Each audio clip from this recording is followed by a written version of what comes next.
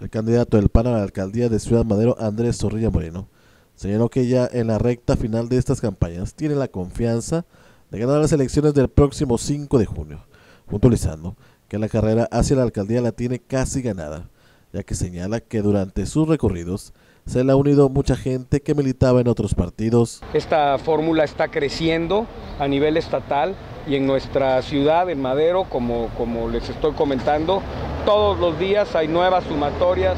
todos los días hay nuevas adhesiones, todos los días hay nuevos simpatizantes que vienen de manera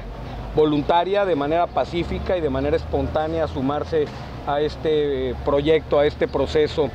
Esa es la mejor forma de cerrar. estamos hablando de ese cierre, estamos hablando de esa recta final en la que no podríamos calificarla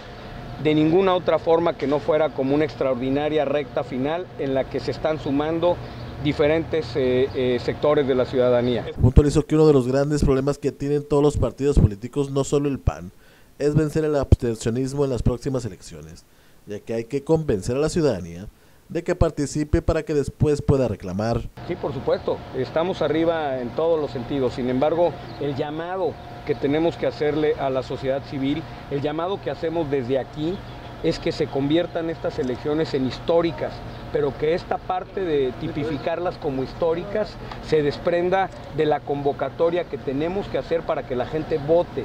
Tenemos que eh, eh, lograr y la, sociedad civil en estas elecciones en Tamaulipas y en Ciudad Madero y en la zona conurbada y en Ciudad Madero en particular por los porcentajes que ha habido de votación en los últimos años, tenemos que dar un claro ejemplo